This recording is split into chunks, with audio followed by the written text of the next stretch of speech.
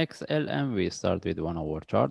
First of all, if we refer to our analysis, when the price was here, we mentioned we can, uh, the way is correcting, we can expect the price to drop. And this is what we get because we mentioned if we want to look for a trade for buy, let the price drop.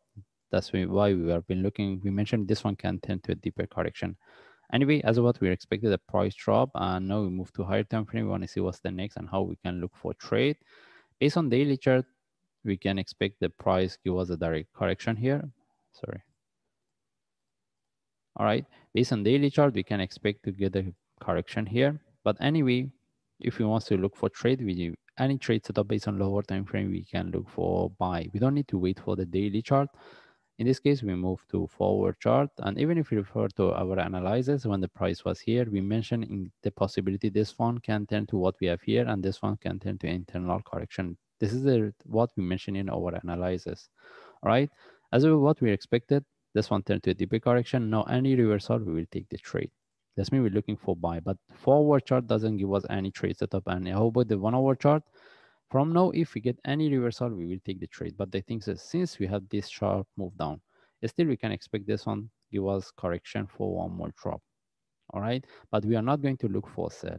From now, any reversal will take the trade either from here or even this one turn to a correction for one more drop. Any reversal will take the trade for buy. That's mean right now we're looking at buy.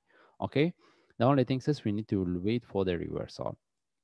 Before that, I mean, if we don't get any reversal, any trade for buy, we won't take the trade because of the possibility this one can turn to a still we can expect turn to a correction since this what we get here is really sharp for one more drop.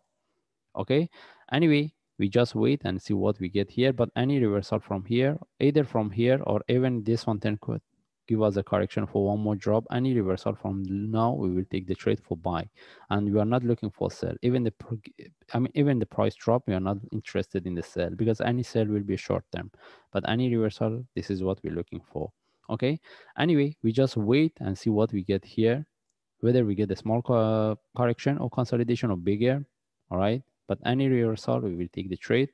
In this case, we just follow the chart. If I see any update, I will share. Thanks.